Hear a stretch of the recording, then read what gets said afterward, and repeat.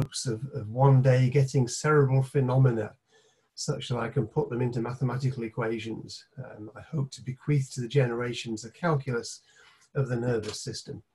Now, this was a pretty high ambition um, for 200 years ago, um, and even today, uh, we really struggle to get our understanding of, of, of the brain and mental phenomena um, into a form that we can really call a scientific understanding. Um, coming a, a, bit closer to today, and I'm from Manchester, and about a mile and a half from where I live, there's this fairly um, uh, non-distinct house uh, on, on about 10 miles south of the middle of Manchester. And uh, this house is uh, a unique uh, role in the history of computing is it's where Alan Turing lived uh, when he came to Manchester towards the end of his career, uh, because Manchester had built the first operational machine to implement his big idea from the 1930s of the universal computing machine. And uh, while he was in Manchester, uh, Turing worked on a number of topics, but perhaps the most interesting um, to this discussion was the paper that he published on computing machinery and intelligence, um, in which he starts by saying, I propose to consider the question, can machines think? And in this paper, he goes on to develop a proposal for a test for machines that have human-like intelligence, and he calls that test the imitation game. And of course, we simply know it as the Turing test for human-like artificial intelligence. And in this paper, Turing reckons that all a machine needs compared with the Manchester baby machine that he came to Manchester to use, all it needed relative to that machine was more memory. And in this paper, he reckons that to imitate human intelligence, the machine would need about a gigabyte of memory. And he forecasts that machines might have that much memory by the end of the century. This is the 20th century. Um, and uh, that was a pretty remarkable extrapolation when you consider that the Manchester baby machine had 128 bytes of memory, um, 128 bytes to hold the code and the data. Um, he was extrapolating to a gigabyte, but in fact, it turned out that the end of the century, uh, that really was about the time when a typical PC on your desk would have around a gigabyte of memory. It would also be about a million times faster than the Manchester Baby. So it would have the amount of memory Turing thought was necessary. It would be about a million times faster, but it would not pass his test. And I think uh, Turing would have been very surprised by that.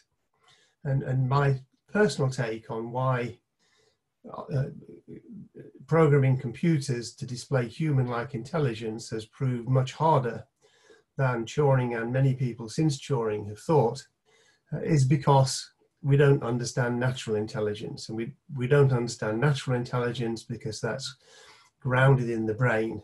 And we simply uh, still are a long way from having a, a reasonable explanation of how the brain does its job as an information processing system.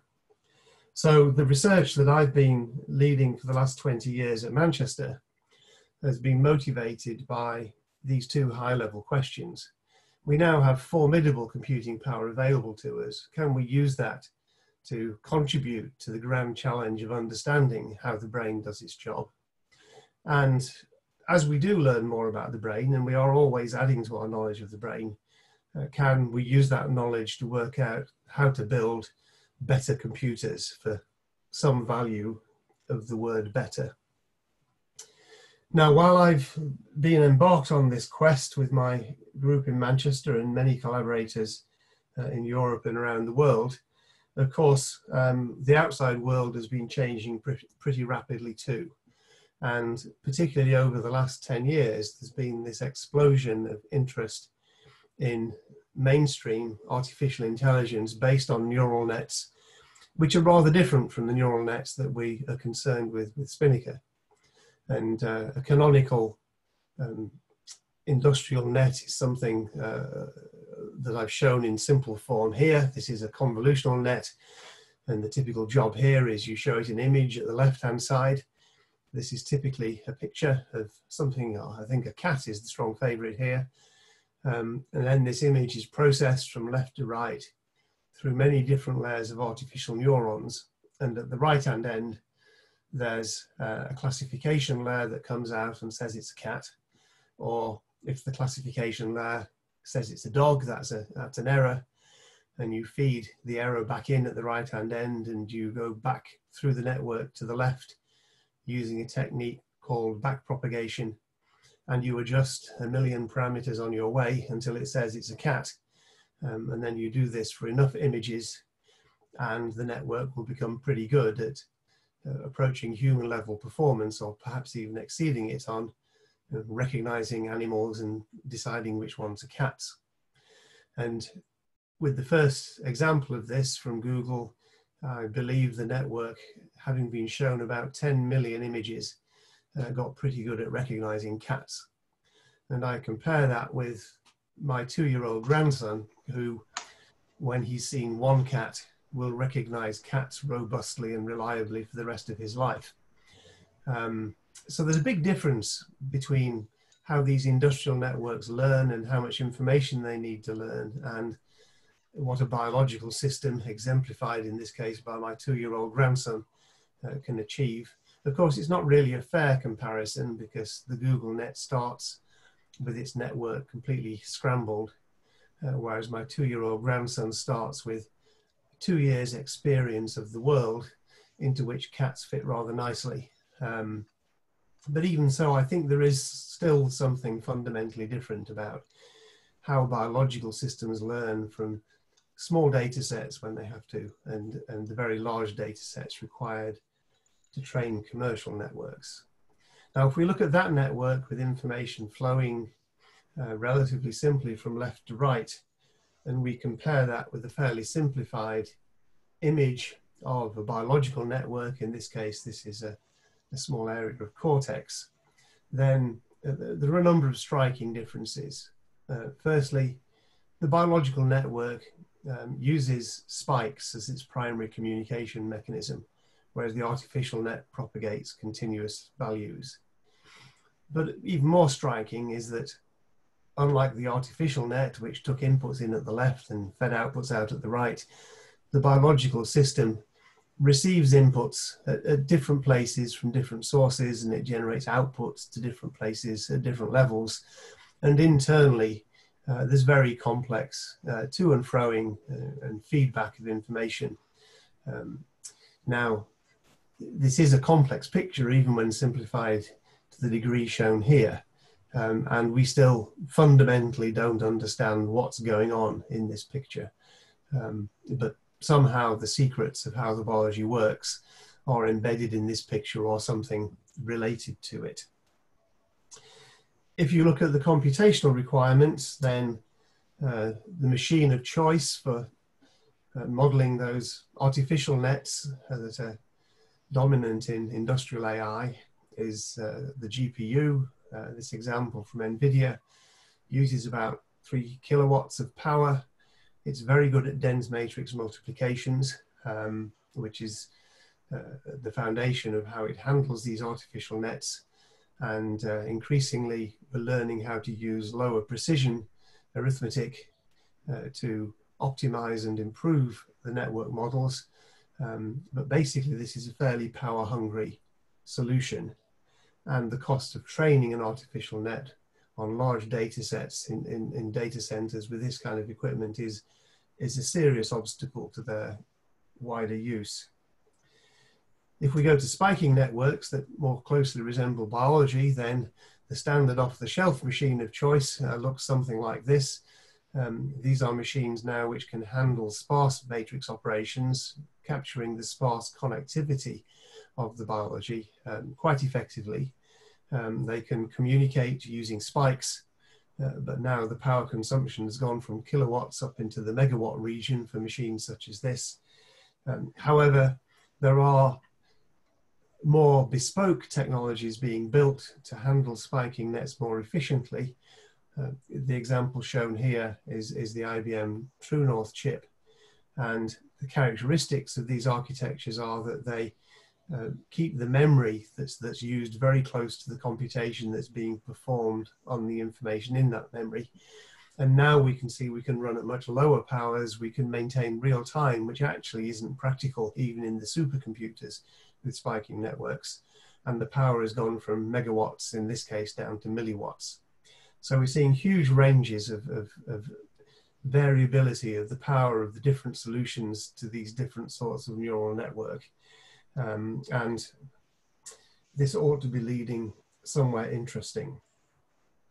Now, the neuromorphic technologies which, which support these spiking nets efficiently um, are attracting growing interest, and we see big companies investing in these. Um, I've mentioned IBM already with their True North chip. Uh, more recently, Intel has joined the fray with its Loihi chip, which is a formidable piece of silicon for handling spiking neural networks. And there are startup companies such as iniVation out of ETH Zurich, Chronocam out of the Paris Vision Institute, and in Manchester, uh, we have a startup that, that's uh, been developing event based AI using our Spinnaker system as its development platform. Um, so you can see both venture capital and big industry money going into this, um, although to date, there's no compelling demonstration that this technology actually delivers something of of, of significant added value to industry. It's still a research territory, and Intel's Loihi chip, for instance, isn't a product. It's a, it's a research prototype, and they're using it to explore the prospective market. They're pushing the chip out into academic groups around the world and waiting to see if somebody comes up with some uh, magical use of this chip that demonstrates its commercial viability. And I think they're looking uh, to find that kind of evidence before they commit the huge resources required to turn a new chip um, into a significant product. Now, what have we been doing in Manchester? Well, um, it was in the title of the talk, so it's no surprise. Uh, our approach in Manchester has been uh, this thing called the Spinnaker Project, and we started off um, nearly 20 years ago now asking ourselves what could we do if we put a million small processors in a box and connected them together so they could support real-time biological models. And at the outset, it was clear that even with a million mobile phone processors, you don't get close to the scale of the human brain. Um, then we thought we could get to about 1% of the human brain. Um, today, I would say I think that's a bit of an overestimate. Um, but if you take 1% of the human brain, that's about the same, the same as 10 whole mice. Uh, the mouse brain is conveniently very similar to the human brain, but a thousand times smaller. Um, today, I would probably say that realistically, we can, we should be able to model one whole mouse brain in biological real time. Um, so the 10 was somewhat of an overestimate, but uh, it's still within tolerance. Now, what's in the Spinnaker machine? Well, um, at one level, it looks like a fairly conventional, massively parallel computer. It's an assembly of compute nodes, and these are connected uh, through a 2D mesh. Um, and each node in this compute mesh contains two chips, the Spinnaker chip or the compute layer um, that we designed in Manchester at the outset of the project, and an industry standard DRAM um, which is used to hold the large data structures, which in spiking nets means the, the synaptic connectivity matrices. Um, they're held in DRAM. If we look at the chip, so we spent the first five years of the project designing this chip, um, designing even reasonably close to state-of-the-art digital chips in with academic research budgets is quite challenging. Um, the chip is 100 million transistors. It's 130 nanometer CMOS, which was quite old even when we chose it. But we'd set ourselves the target of building a million core computer on a million pound budget. And so we had to look at the cost of everything, including making masks. And if we'd gone for a, a more advanced process technology, then the masks would have eaten the whole budget. Um, on this took about five years and 40 person years of design activity to put together. Uh, at the top left, you see a picture of what's inside the package. Uh, the larger, lighter colored square chip is the Spinnaker compute layer, and the darker rectangular object on top is the DRAM. and the DRAM is simply glued on top of the Spinnaker chip, and then the two chips are connected uh, together and into the package by standard gold wire bonding. So it's a sort of two and a half D structure, but um, we're not using anything advanced such as um, uh, through die vias. Um, they're just gold wire bonded, and then the thing is assembled into the package shown at the bottom left, which is two centimeters square, and we can effectively tile the world um, or tile any sort of 2D surface with those packages uh, to build a scalable compute architecture. If we look at what's on the chip, um, then again, most of what you see looks like a conventional um, high performance computing chip, except the processors we use are, are quite small. We use thin, um, energy efficient processors rather than fat, high compute throughput processors. And uh, the processor here is somewhere in the light blue area on the upper right side of the slide. Uh, there's a whole lot of other stuff in there to do with uh, the supporting peripherals, and this is all compiled automatically by tools into the sort of the typical spaghetti you get out of such tools. Uh, but the key feature here is that the memory that that processor uses most of the time is very close. It's in the green areas immediately above. And there's uh, 32 kilobytes of code memory, 64 kilobytes of data memory, and those are about a millimeter away from the processor.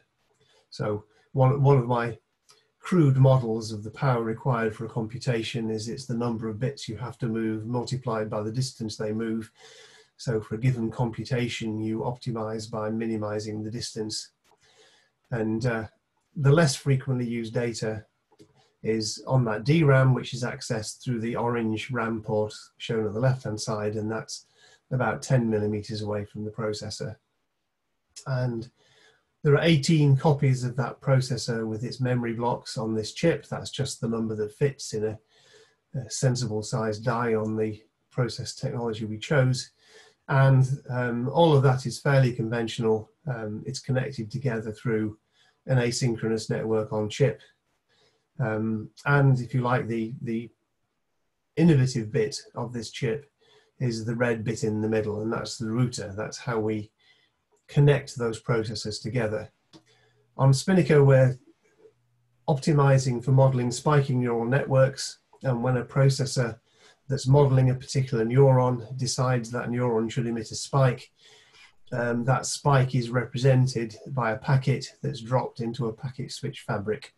And that packet then flows around the machine uh, to its destinations, and there may be many of them. Uh, and the real time constraint is that the packet must be delivered everywhere it has to go within a small fraction of a millisecond uh, to main, maintain biological real time.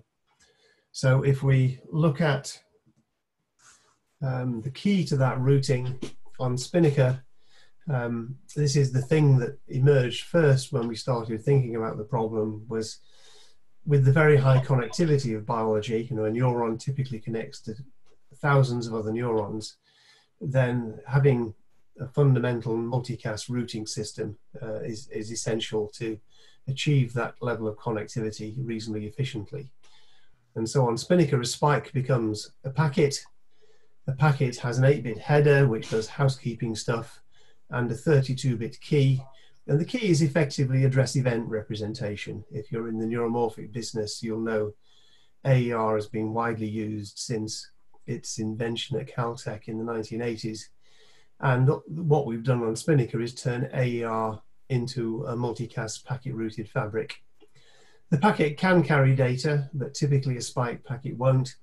So a spike is represented by a 40-bit packet, and that packet contains no information about where it should go.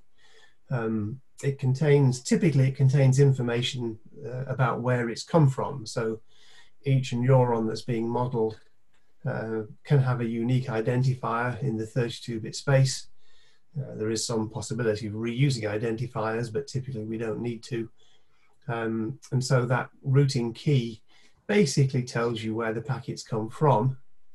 And then the router um, has a content addressable memory, which uh, looks up that key, and when it uh, recognizes it, it um, generates an output from the routing RAM, which has 24 bits, and that tell you tells you which of the uh, 18 local cores it should go to, and it could go to any or all of them, and which of the uh, neighboring chip links it should go to, and it could go to any or all of the six neighboring chips. So there's a 24-bit RAM, each bit corresponding to a, um, a core or, or a link um, and so one input packet can become up to 24 output packets. 24 is not a very useful number, but that's uh, in principle possible. And to make this work, um, a number of optimizations are required. Um, otherwise, the lookup table becomes impossibly large. And uh, one of the optimizations is that the CAM that we do the associative lookup in is, is three state. It's a ternary CAM and so we can make any of the bits of the key don't care in the lookup process. So for example, if we have a population of 256 neurons, um, they may, uh, the individual neurons may be numbered in the bottom eight bits of the key and the neuron population may be defined in the top 24 bits. And then we can mask out the bottom eight bits and route all of the neurons in that population using the same single key. Um, and in fact, we, we go quite a long way beyond that. We use quite sophisticated um, logical compression algorithms to uh, generate initially quite large routing tables, which we then compress down to fit into this CAM. Um, there's quite a lot of subtle optimization you can do. And that allows you to route a neuron or a population of neurons across the machine uh, following an arbitrary tree of connections and, and there are a couple of simple examples shown in the diagram on the right, where the source is one of the red uh, chips and the destinations are the one or three yellow things that are connected. Um, and uh, another optimization is that if the ternary CAM doesn't recognize the input key, then it passes the packet straight through. So for instance, if we start at 1, 1 and we're going to the three yellow packets uh, to the right and a bit above, then we don't need any routing table entries in 2, 1 or 3, 1. We need one in 4, 1 to change the direction of the packet, uh, nothing in 5, 2, and then in the yellow destination squares, we need routing table entries to send that packet to the relevant local cores and onto neighboring chips as appropriate. So this slide basically um, summarizes um, the significant innovation in Spinnaker. Um, everything else looks like a conventional, uh, massively parallel computer made out of fairly simple processors. Um, it's this way we handle the packet routing is uh, is the thing that's different from um, standard massively parallel machines. Now, where are we up to? Um, to program this machine, obviously, um, the code running on it is low level real time, typically written in C, running on the ARM cores. Um, our user base, we don't expect to be able to program real time C. Uh, so we start with a high level language called PyNN, which has been developed through a series of European projects and is used for a number of different machines. And the user writes a PyNN script, and then we have a tool stack that uh, reads in the PyNN script and maps the problem onto the machine and sets up the routing tables, loads and runs it, um, feeds stuff in, gets stuff out, and presents results in a way that's reasonably standardized across a range of platforms that support PyNN. You can run PyNN on your on your own laptop. If you get a simulator such as Brian, um, then you can run PyNN locally. And, and, some of our users develop their PyNN models that way and then load them onto Spinnaker when they want them to run bigger or faster or something. Um, so the software's absorbed at least as much effort, in fact, probably considerably more effort than the hardware to get uh, to the level of usability that we now have with quite a large number of users um, around the world. So we've got the chip. We can put the chip onto a circuit board and the standard Spinnaker circuit board has 48 chips on. Uh, it may look like it's a square, but the top right hand corner is missing it's actually a hexagon um, that's been sheared into a square shape for convenience of layout.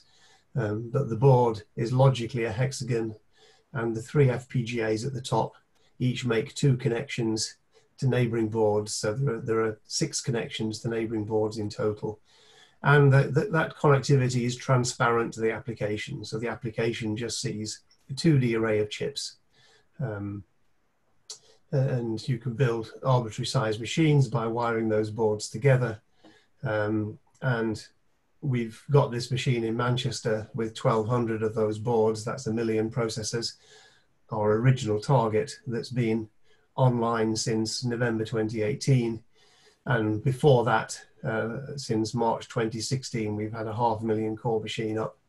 Um, the number of remote users and Spinnaker jobs is not particularly up to date here.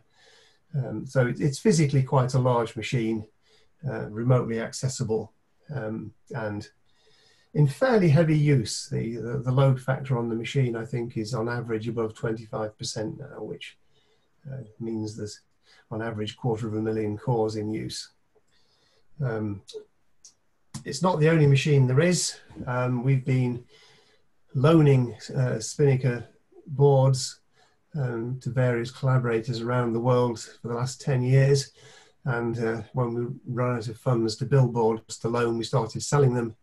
Um, and the Spinnaker installations uh, around the planet are sort of summarized in the map on the right here. Um, it, it's not complete, um, but it shows that we've got quite a lot of people using the hardware around the world. And of course, the big machine in Manchester is useful if you want to run a big sort of batch job. Uh, but if you want some real-time robotics control, you really need a board that's physically close to the robot. You can't run the real-time robotics with internet latencies.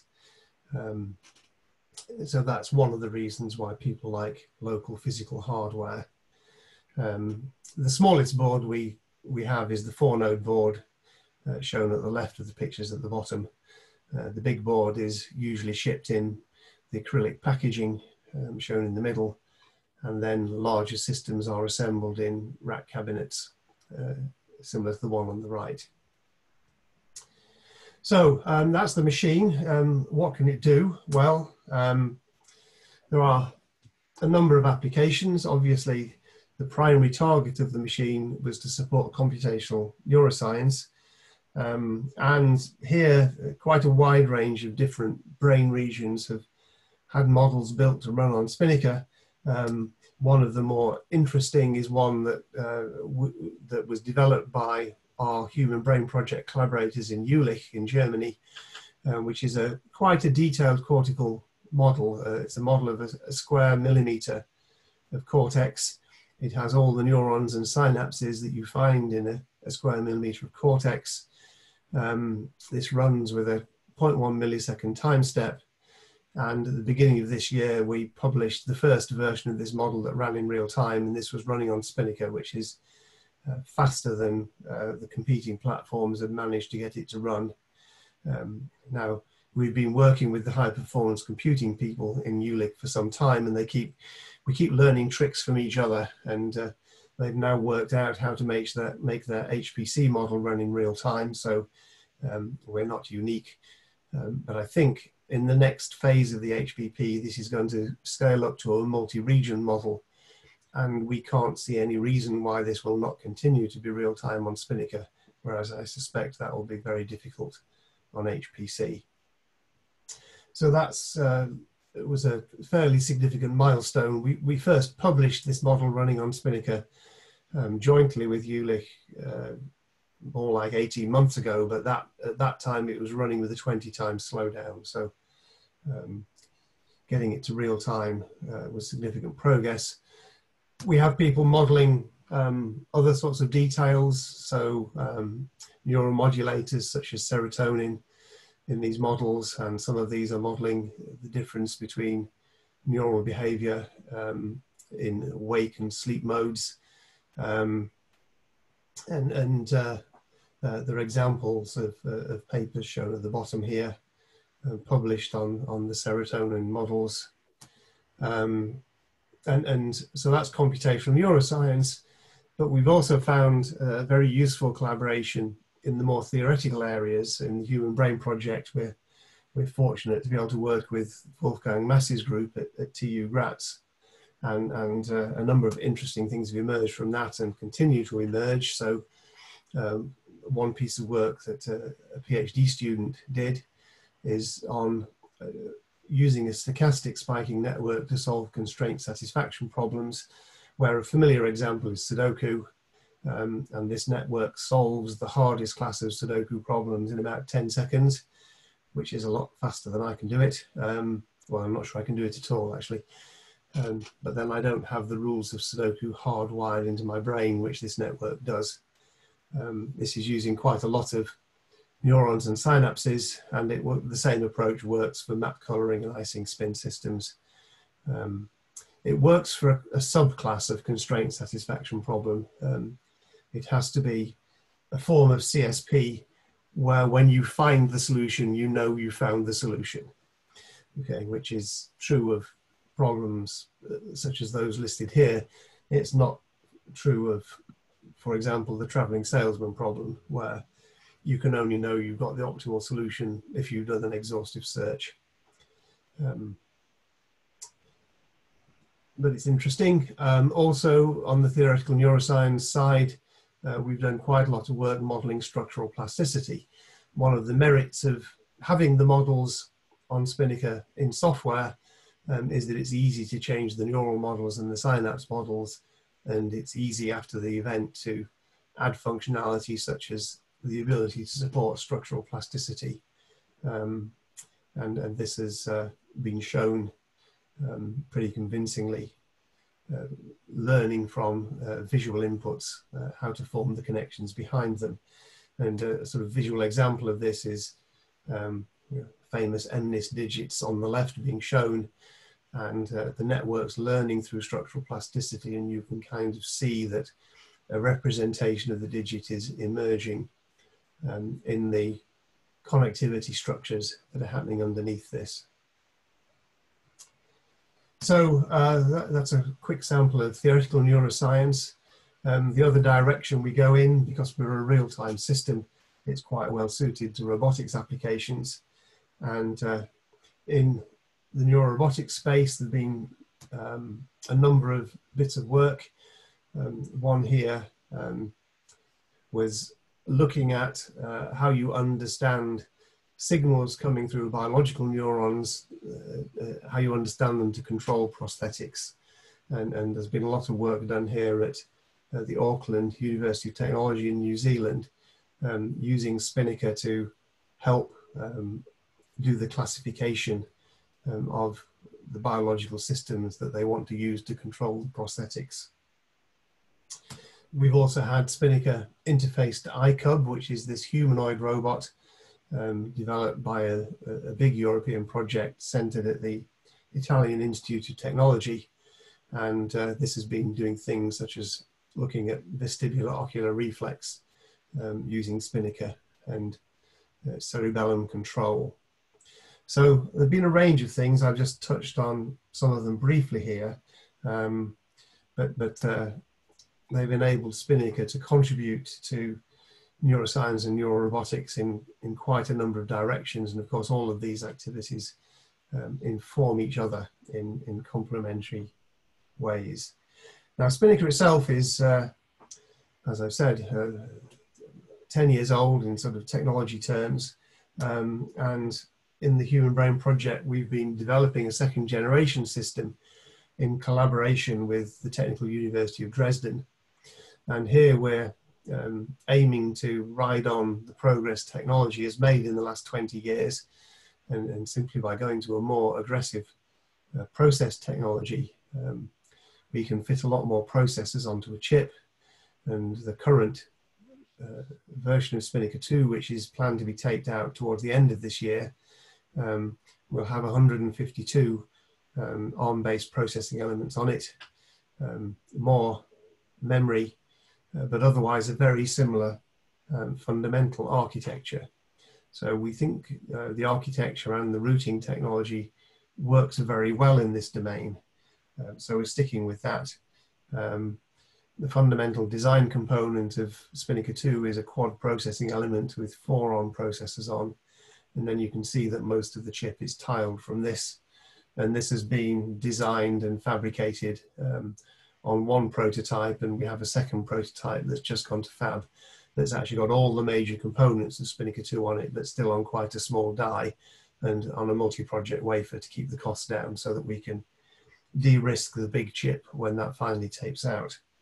Now, Spinnaker 2 has benefited a lot from what we've learned from Spinnaker 1, um, and it has uh, a number of new features based on that experience.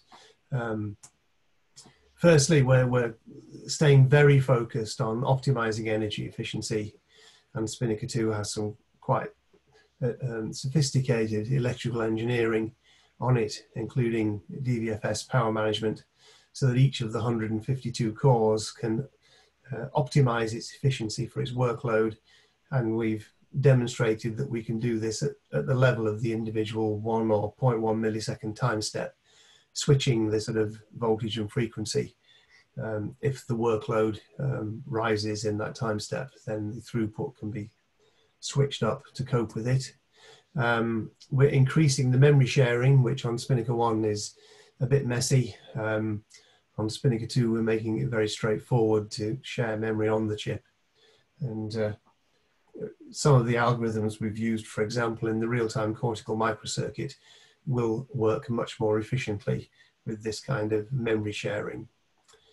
We're adding a multiply accumulator, so this chip will be good for conventional uh, neural networks for, for, machine learning as well as for spiking networks, and it'll support hybrid networks, which are a combination of ANNs and SNNs. And then this has a, a very high efficiency multiply accumulate throughput.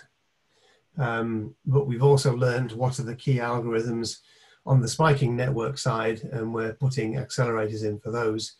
Um, the two key accelerators are, are for computing exponentials, uh, which come up a lot in the solutions of neural equations, and also very high quality random number sources.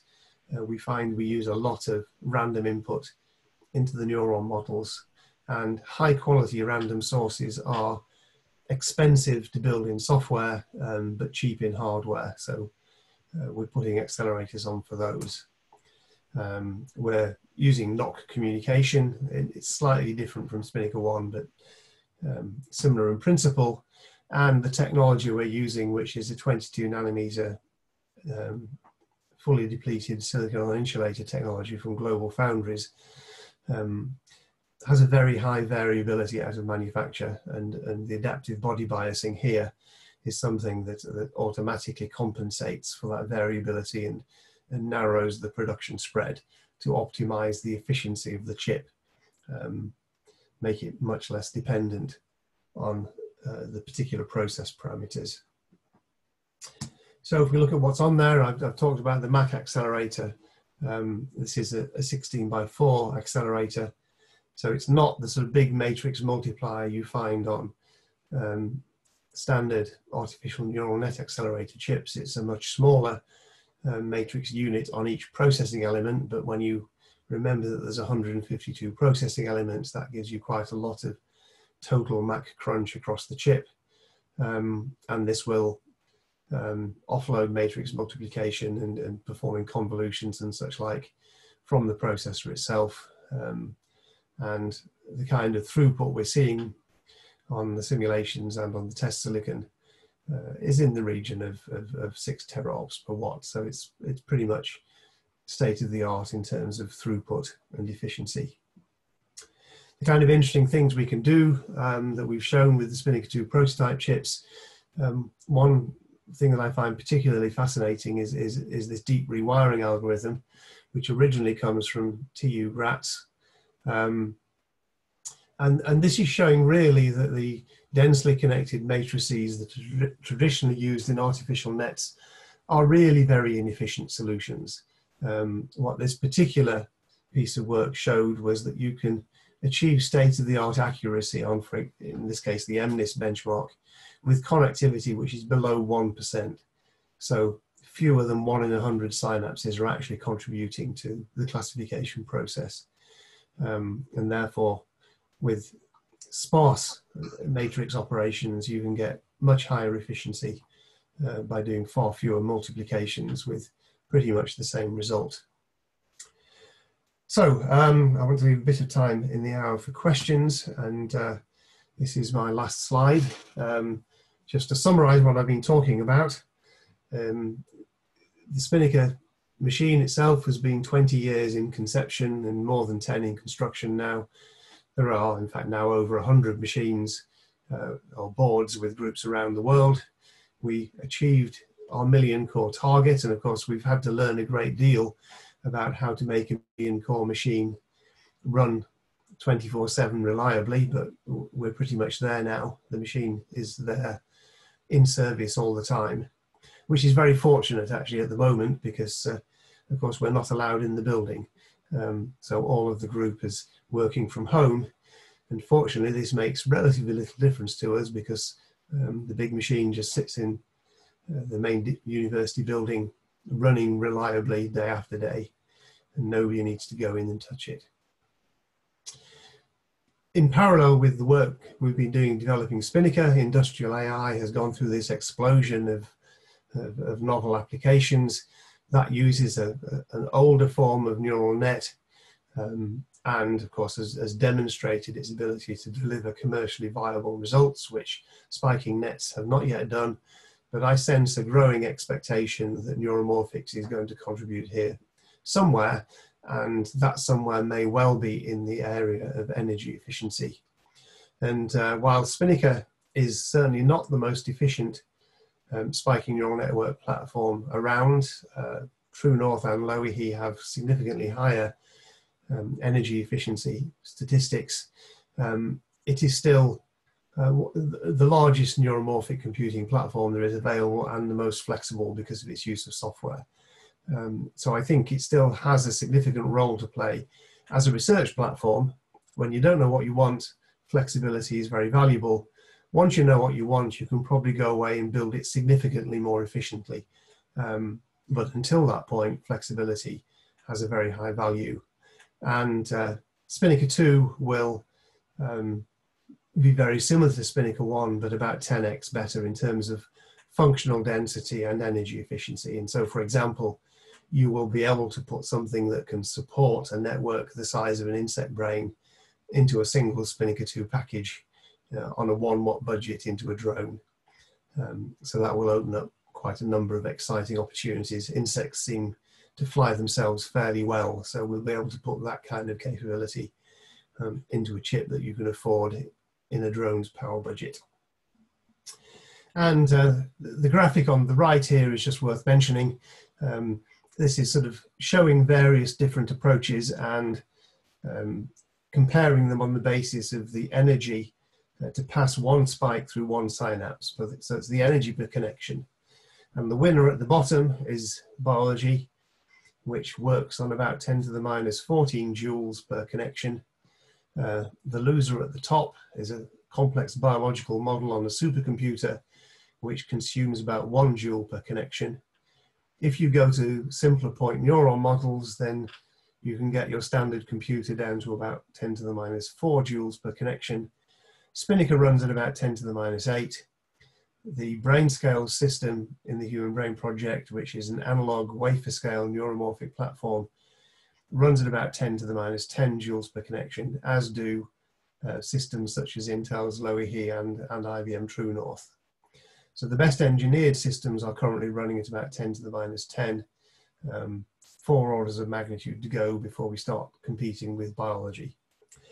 And at that point, I will stop what has been quite a strange experience of giving a presentation with nobody present um, and um, throw this open for questions. I'm proposing to do this uh, by closing the screen, the screen sharing so that we can start to see each other if we want to. Um, right, I think we're there. So yeah, please ask your, your question to, to Steve directly. Maybe uh, uh, you can just um, raise uh, yeah. your name in, in the chat and, and I will just, uh, so Gert has a question, uh, I guess. you can raise your hand also too, like, so Gert, please go on. Yes, Steve, very nice seeing you. So, uh, very interesting talk, and I very much enjoyed it.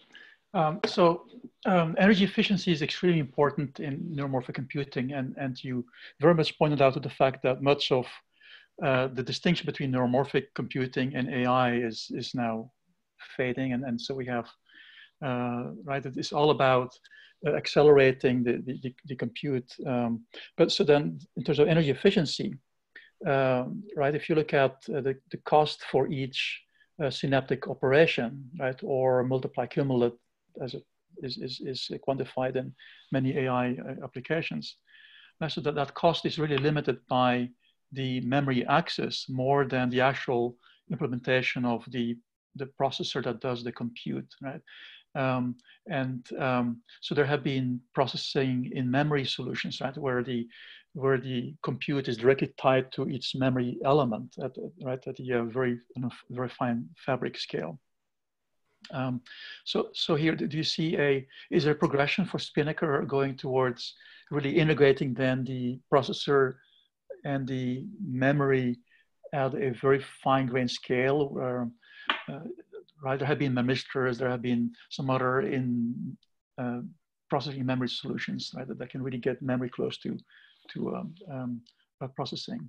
Because uh, eventually, right, the cost of each, each operation is then limited by the memory cost. And for DRAM, it's in the order of nanojoules or, or right, upper, upper hundreds of picojoules. And for uh, SRAM, of course, it, it's, it's very low. It, it's, it's in the order of, of femtojoules. So, so, um, uh, so what are your thoughts of, of, of, of how to push density and, and uh, bandwidth for memory access for in-memory compute, uh, processing in-memory compute?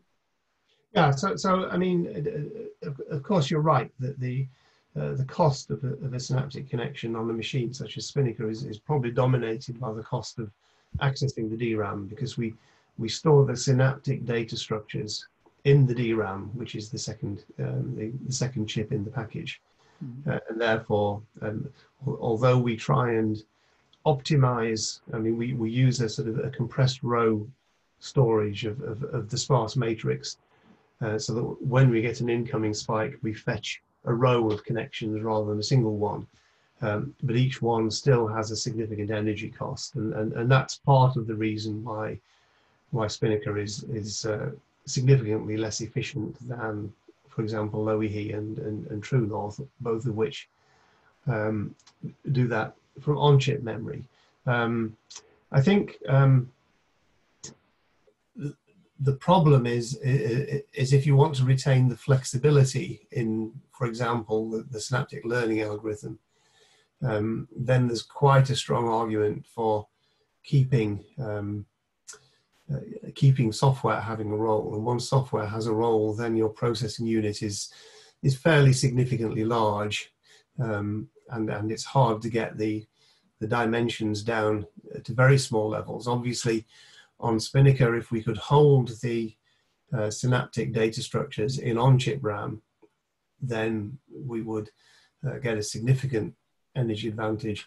And we and we we can do that in some cases, although it's not part of our standard model at the moment. But one of the things that um, uh, Bernabe Linares Barranco from Seville did with Spinnaker was he built a convolution net where he exploited the fact that all the filters in the convolution net share the same weight matrix. And so he could store that weight matrix in the local RAM um, close to the processor and, and get very high efficiencies and, and performance on that particular task. And that's something that I'm trying to encourage the team to look at doing again because convolutional nets um, come up pretty often and quite important. And at the moment, we make a bit of a dog's breakfast of implementing them. Um, so, I, but I, th I think, um, I mean, where this is going, of course, is is is, is towards uh, really quite different technologies for supporting the synapse.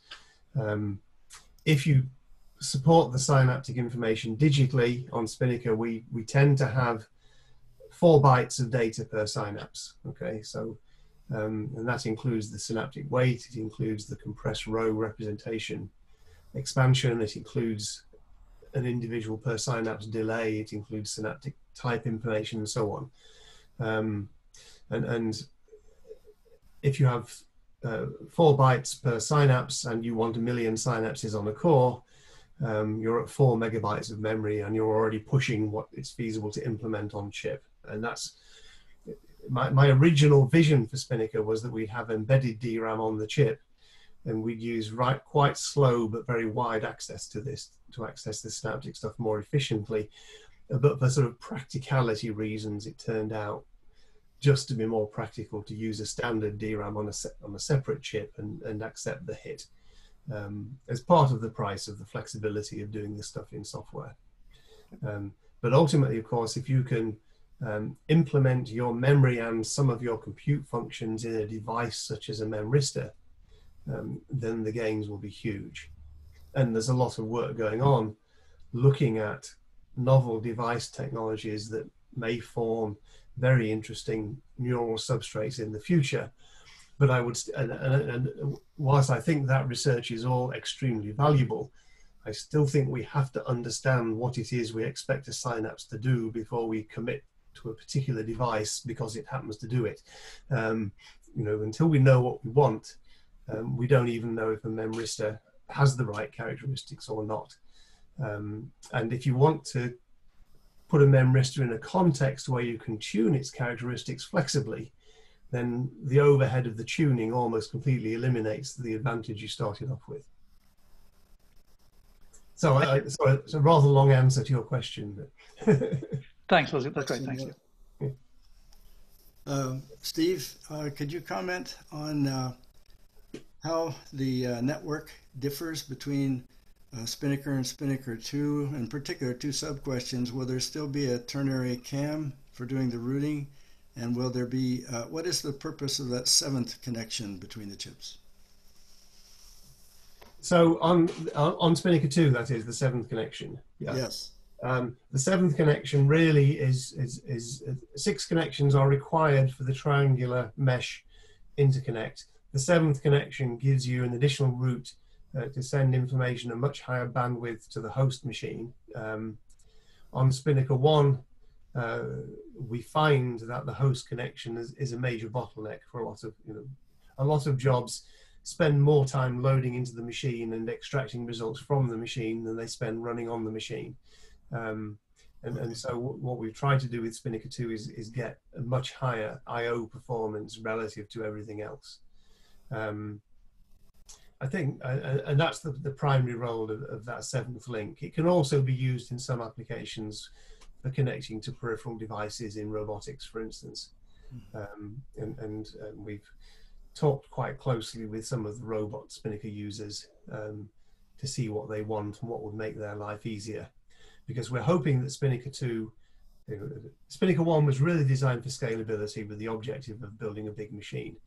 With Spinnaker 2, we're hoping to um, produce a device that's much more usable at a small scale as well as being scalable up to, up to a large machine. And obviously robotics are, a key application. Now in terms of the network, uh, I think you, I mentioned there was a difference in, in, in the network on chip. Yes. On Spinnaker 1, we have 18 cores and effectively there are two networks on chip. One network on chip is, is what we call the comms network, which carries the packets from the IOs and from the processors um, through the router and then back out again. And there's a completely separate star network which allows all the cores to share access to the DRAM and the other system level peripherals. Um, on Spinnaker 2, that approach doesn't scale to the number of cores on the chip. And so on Spinnaker 2, um, what we've used is, is a rather more conventional NOC. It's, it's a it's a square mesh NOC, um, but with very high bandwidth. So um, the the people we're working with at Dresden uh, sort of had the, had this NOC technology in their back pocket from some previous project, um, and and so we're sending both the, the the the major traffic to and from the DRAM and the Spinnaker packet traffic through the same NOC on on the chip um, and, and uh, that, that improves the efficiency of chip assembly a great deal because each of the quad processing elements is just tiled. There's no there's no global wiring at all on the chip. Okay, everything is just um, QPE abutting to QPE. So there's no global timing issue on the chip at all. There's no we don't have to do any timing analysis at the full chip level, um, which would be a nightmare if we did have to do it.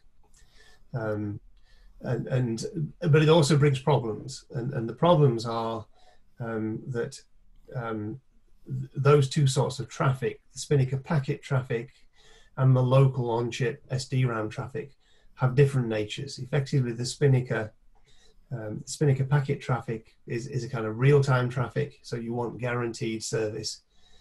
And the SDRAM traffic is, is more a best effort kind of traffic. Mm -hmm. And, and we're mixing the two together, and that's a kind of, um, that causes all sorts of headaches um, that we hope we're on top of. But um, we may we may yet be surprised. Um, I mean, the, the, the, the basic characteristic of a NOC is that effectively it's a FIFO communication channel um, with switches. Um, so if, if, if it gets overloaded, then you get back pressure and it stalls. And in the Spinnaker 2 on-chip NOC, we just have to make sure that doesn't happen. Okay. So we have to we have to put in protocols, which means that traffic doesn't get onto the NOC unless it knows it can get off at the other end. There's plenty of bandwidth in the middle, provided it doesn't congest. Will your uh, will your new chips uh, use a different form of uh, DRAM integration than what you did previously with just wire bonding? Um, yes, they'll, they'll, they'll, they'll, actually use a much more boring, um, they'll use separate DRAM chips on the circuit board. Um, I mean, we're going, Spinnaker 1 uses the early LPDDR mobile DRAM um, so it's dual data rate, um, but quite uh, quite modest performance. On Spinnaker 2, we're using LPDDR4, um, so much much higher bandwidth, and we need it because we've you know got 10x the number of processors, so we need at least 10x the bandwidth. Okay, thank you very much. We have a question by uh, Louis Pisha uh, that is asking uh, did you want to ask your question yourself or uh, you want me to read it? Uh...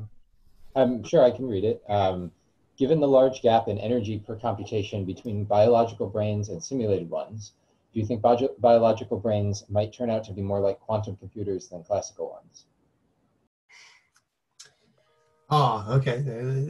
This is a question that's really more in the domain of philosophy than technology, I think, in, in my view.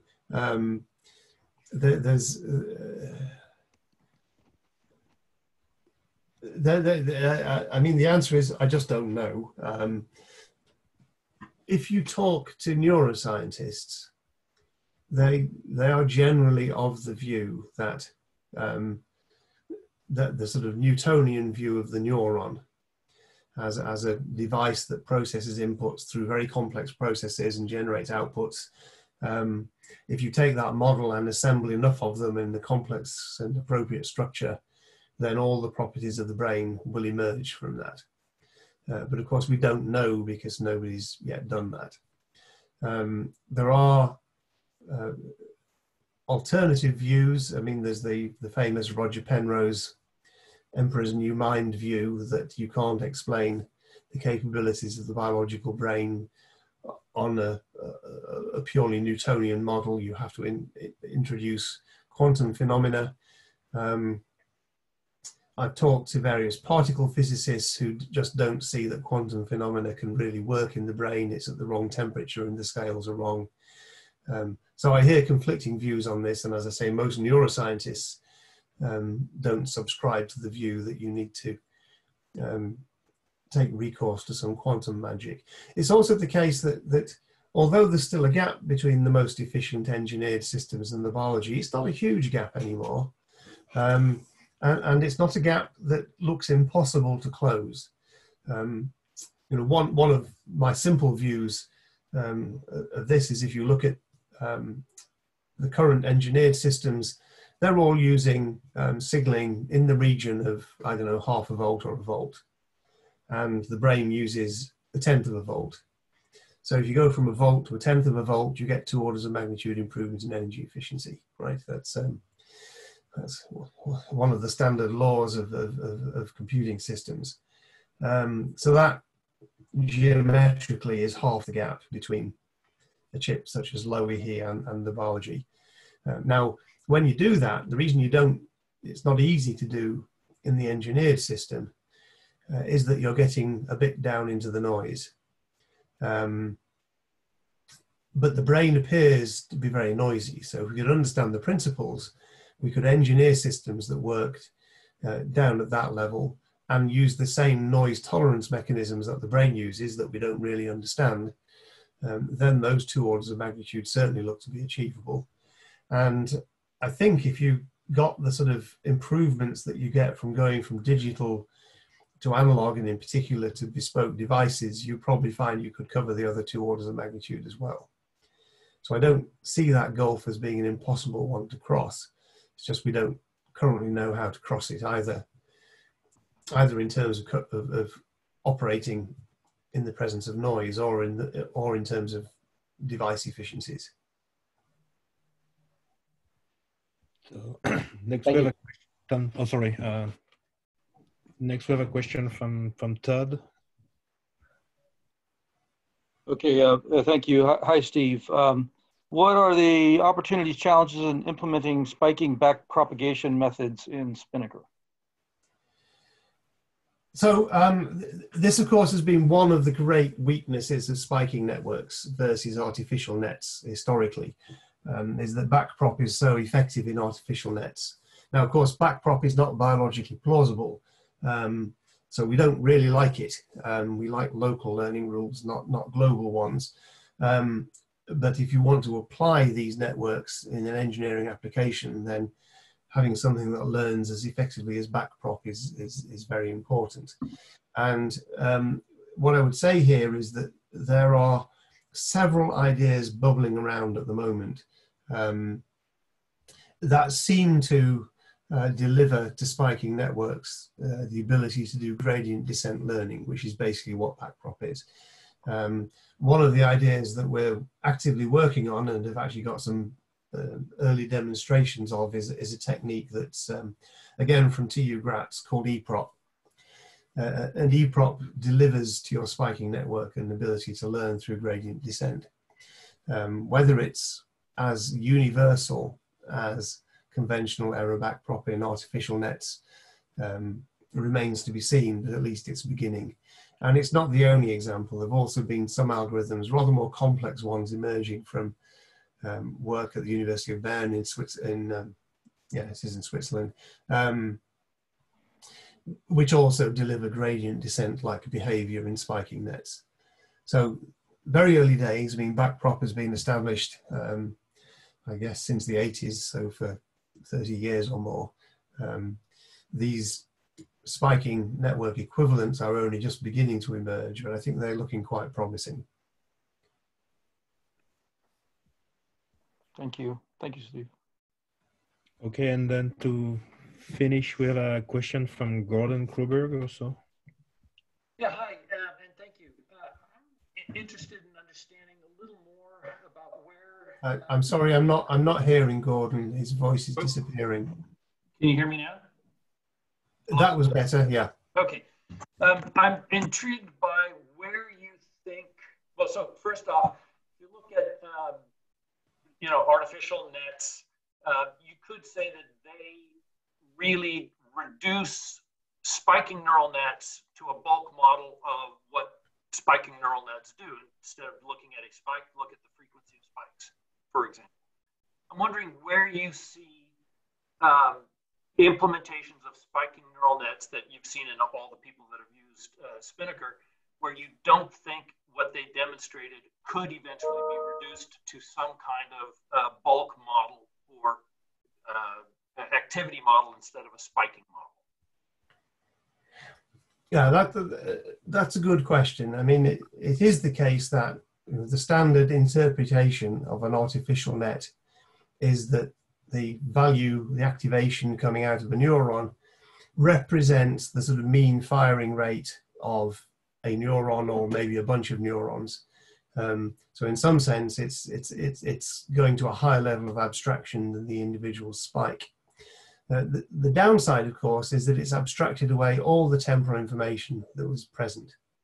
And um, there's, there's growing evidence that in biology, um, spike coding isn't all about spike rate.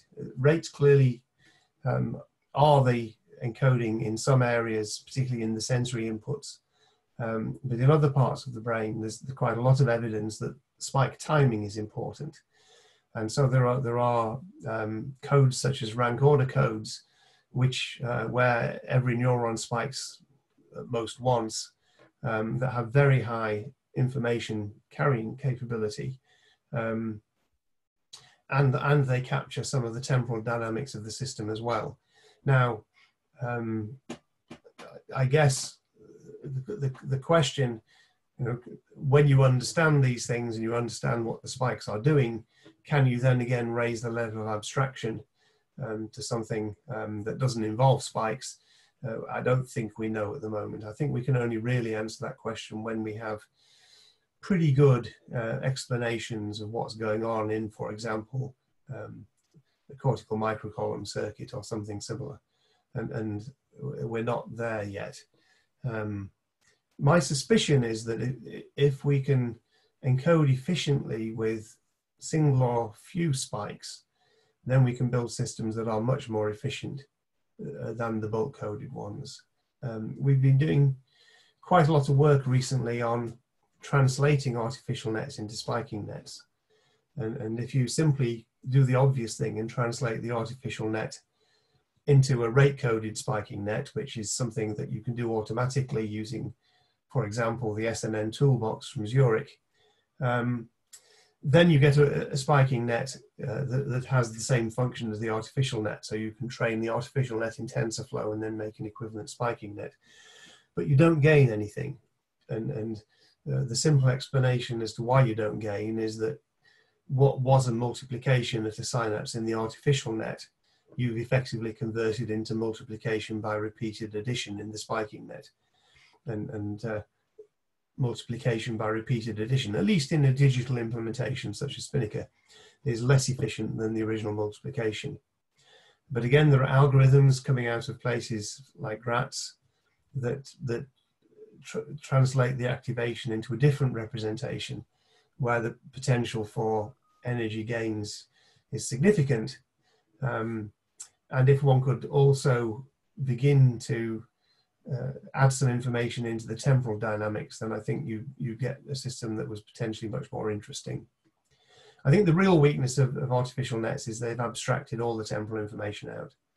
And, and in doing that, they've lost quite a lot of information. Thank you. Um, I, I, guess I, as a follow-up, have you got any of the implementations of SpiNNaker or any of the software running on SpiNNaker, have you seen any of those implementations demonstrate something that could not be? I mean, do you have a, do you have a proof point that it can't be? Re- there are some that haven't been uh, uh, reduced. I, I, we don't tend to work in a world where people are trying to do that reduction. I mean, for example, with with the cortical microcircuit, um, the objective is to understand the principles of operation in the cortex. Now, it's fair to say at the moment all we have is a model which reproduces the measurable biological spike rates in the different layers of cortex. Uh, it's not doing anything recognizable as information processing, but in the next phase of the HBP, there is an expectation that we'll begin to understand what the information processing role of that uh, of that microcircuit is. Um, when we do that, then we'll be much better placed to say, is this something that can easily be abstracted? And I quite like to see an abstraction which was not just replacing spiking neurons with, with non-spiking neurons, but was actually uh, replacing the whole cortical microcircuit with a kind of function. Um, at that level of abstraction, of course, then we could run away with SpiNNaker because we've still got software. We can model the function rather than the neuron. Um, and, and, and you know, who knows where that might lead, but we're, we're not there yet. Thank you. You're welcome. So thank you, Steve. I don't think we have any other questions uh, for now. Okay, that's fine. I, I'm, uh, uh, you know, people can find my email address fairly easily if they don't know it. I'm, I'm happy to uh, pick up on anything that people want to ask. It's an interesting experience giving a seminar with no people. Um, well, only virtual people. So uh, I'd be interested to know how it worked for you. Uh, but anyway, thank you very much for your attention. Thank you. Thanks, very Steve, for a great talk. Thanks. Okay, Thank you, Steve. Thanks. bye bye. Bye bye. Bye.